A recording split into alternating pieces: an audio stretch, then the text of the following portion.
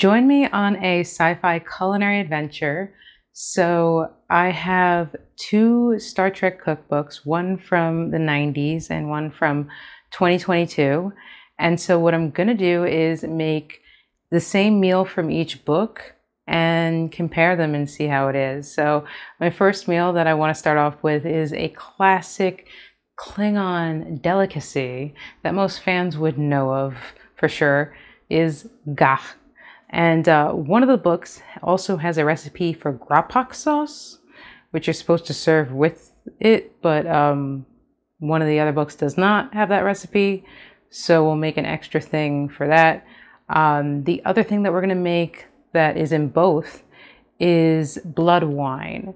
One is a mocktail and the other is a cocktail. So I find that interesting. We have one um, more universal, anyone can have it, children, whatever, blood wine. And then we have a more adult blood wine. Uh, so before I get into the recipes and the cookbooks, let me show you my um, outfit because I actually wore a Star Trek related thing, but it's on the bottom half of my body and uh, you're not going to see it for most of the video or any of the video. So might as well show it off now. That was poor planning on my part. I uh, put my outfit together before knowing how I wanted to frame the video. Uh, this video was filmed last October, by the way. That's why there's a jack-o'-lantern in the background.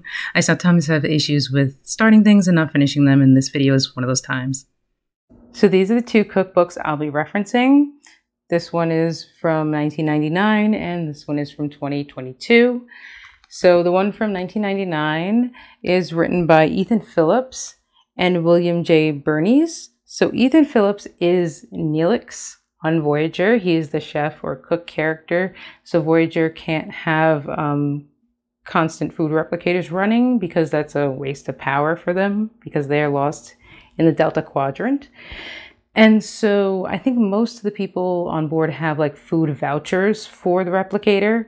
But obviously, once those are used up, you have to go to the commissary where Neelix is making food.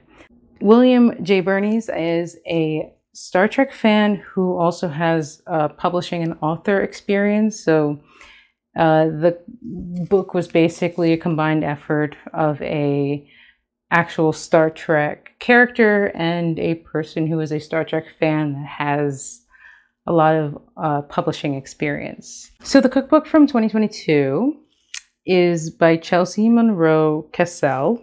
She's made other um, nerdy cookbooks, such as a World of Warcraft cookbook, Elder Scrolls, Star Wars, a bunch of other nerdy cookbooks. And so she combines her knowledge of food and her love of sci fi to make all these really cool, um, really interesting recipes. I say that because even though the older book is really cool, that it has somebody that actually was on a Star Trek series working on it, this one is definitely more from the perspective of a chef it, just from the intricacies of the recipes from what I've seen, in my opinion. So let's go through what I'll need. Um, we'll start with the 1999 one first. Something I forgot to mention about Ethan Phillips is that he was born into a restaurant family. His father actually owned a famous steakhouse in Manhattan, and he's not just an actor, but an author as well of a play. And when it comes to Star Trek, he has not just been in Voyager, but Star Trek Next Generation and Star Trek Enterprise as well.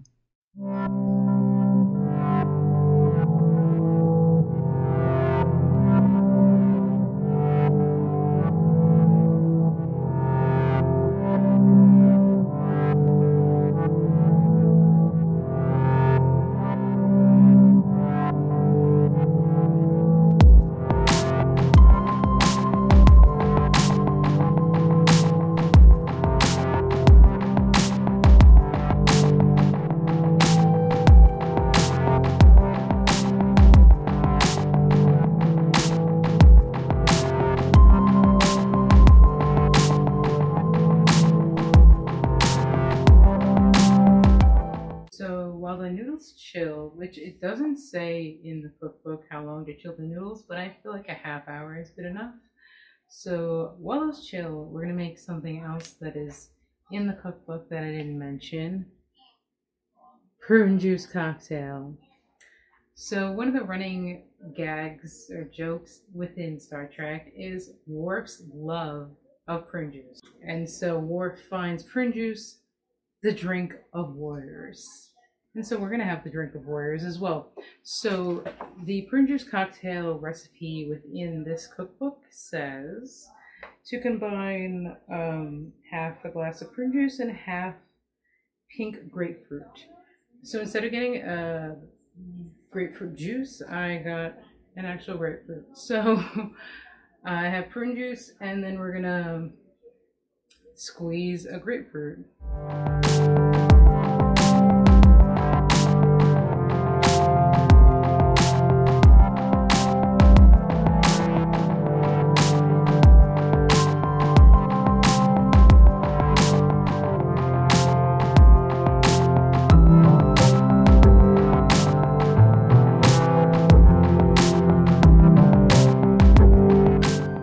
Cheers. Here we have our prune cocktail concoction. My cat decided to say something. Okay. Hi. All right. Yeah, no, I, I know. Drink of warriors.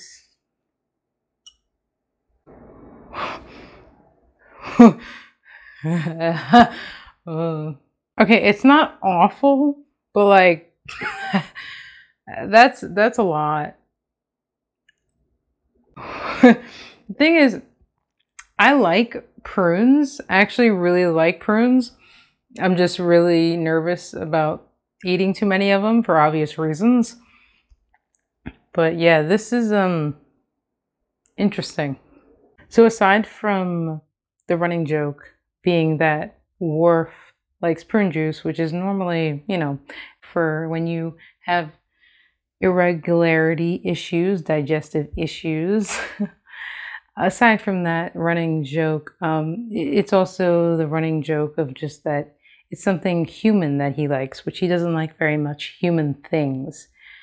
Even though he has joined Starfleet, he is very much Klingon and is very prideful of his Klingon traditions and ways. Similar, similarly to Spock, he also is very much into Starfleet and his uh, duty to Starfleet, he just is also very much prideful about his Vulcan traditions and Vulcan ways.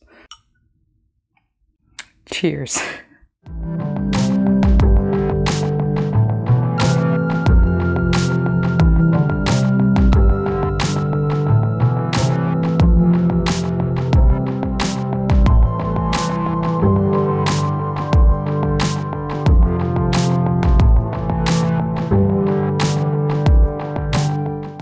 So I have my first gagh dish ready.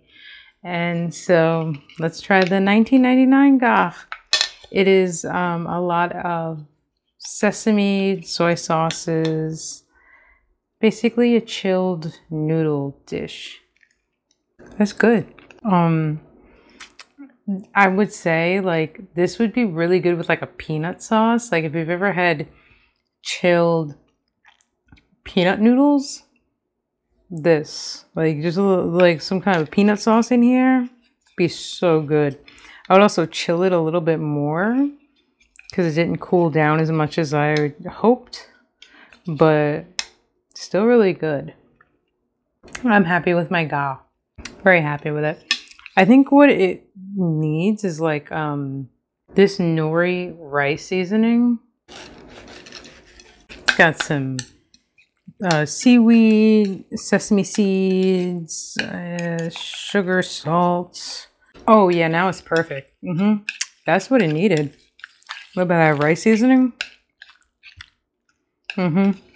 Yeah, so good. On to the blood wine. I'm actually gonna eat this. It's good.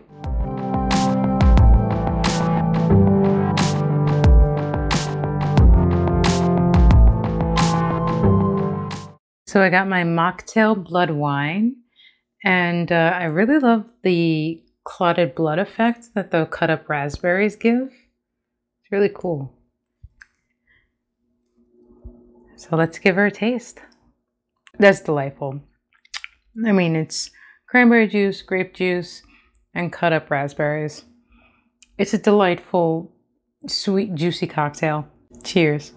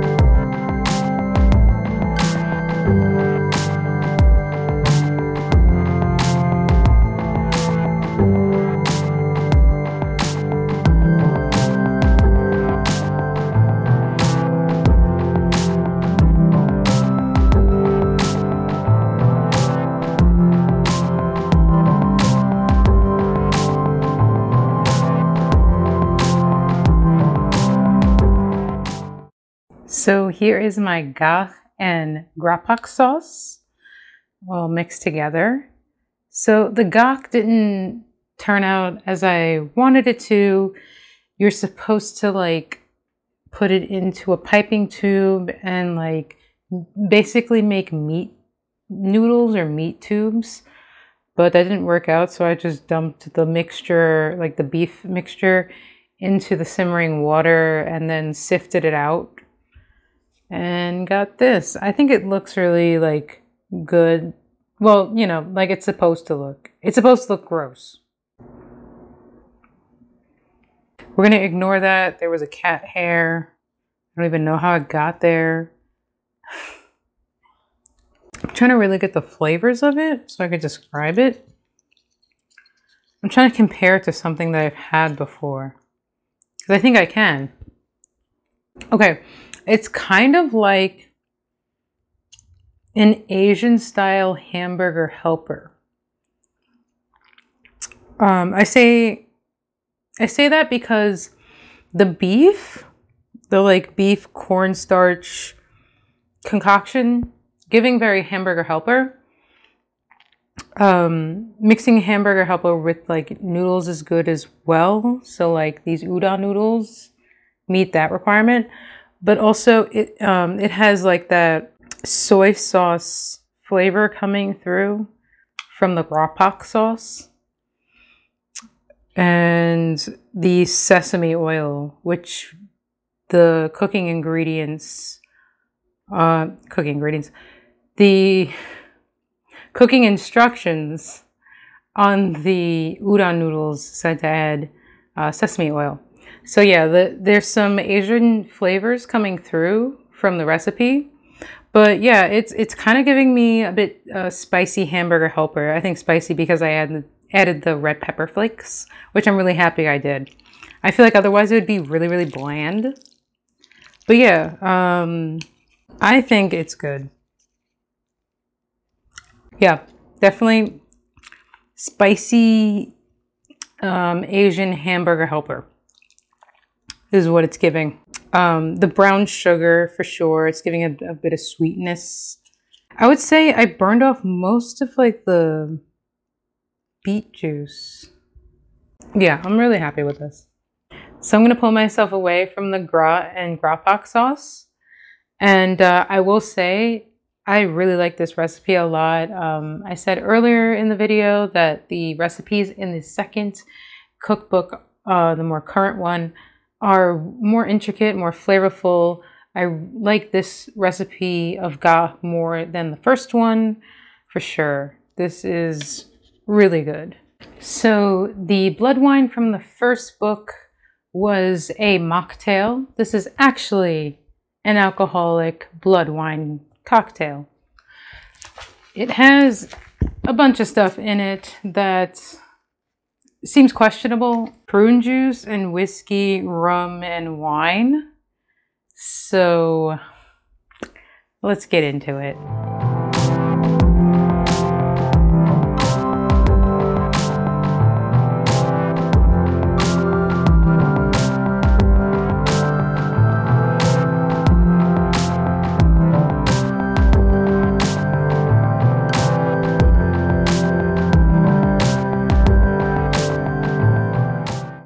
So here we have my blood wine, and I will say I'm not excited about this. I never thought I'd mix prune juice and alcohol. That does not seem like a good mixture at all. Hmm. it smells like a lot of things. You know what? Hold on. Let me Give it a little mix.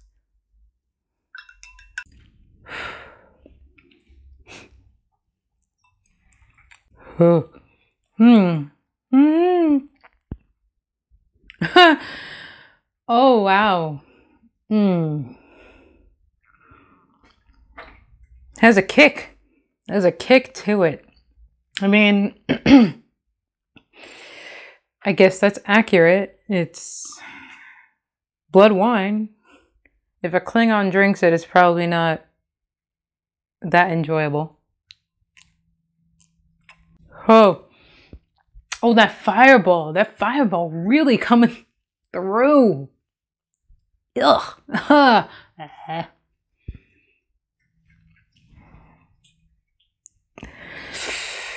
I don't know if I'm going to finish this. I might just dump it. I can't. This is. This is unreasonable. Rum, whiskey, wine, prune juice? Mm. Honestly, minus the prune juice, I'd probably make this again. I don't think alcohol and prune juice should ever be in the same cocktail. You're just asking for trouble. But uh, yeah, minus the prune juice, I think I would make this again because it's kind of um, giving me a bit mulled wine vibes. I will say that prune juice really is a kick. So I'm get, I'm getting a lot of the cinnamon whiskey and prune juice. So next time minus prune juice, I think it would be a nice fall time drink because the cinnamon whiskey is definitely giving me fall vibes. But um I would not recommend this. this was a fun experiment I would not recommend. So that was a fun culinary adventure. Thank you for coming along with me on that journey. I'm definitely down to make more Star Trek food. Uh, a dish that I'm thinking about making next is a Vulcan one called Plomeek Soup. But before I go, uh, let me show you the official Star Trek spirits that are behind me. Firstly, we have here uh, the official Star Trek blood wine, and it has this really cool uh, red wax seal at the top. So these are going to be opened when me and my boyfriend are watching Star Trek together, um, and not by myself while I film a YouTube video. But I just wanted to show them anyway because I think they're really cool. Here we have, what is it? Oh, yeah, Special Reserve, which we have the red wine version or Old Vine Zinfandel. Then we have the other Special Reserve, which is a white or Sauvignon Blanc. Then we have a really cool one, which is the Chateau Picard. Picard has a vineyard and he produces Chateau Picard. And so this is supposed to be that. And it's actually produced from the actual French vineyard that the Picard vineyard is based on because his vineyard is in France. And so this is where it would be made if he actually made the wine. and then lastly, we have 10 Forward, which is Star Trek Vodka. I really love the bottle of this. It's so cool. It's got all that nice detailing on the side. So like I said, thank you for watching and coming along with me on this culinary journey. Feel free to subscribe for more Star Trek food videos here and there. Uh, I say here and there because I do not post regularly here on YouTube. I just post whenever I feel like it. So uh, if you want to come along with me on that journey, feel free to subscribe.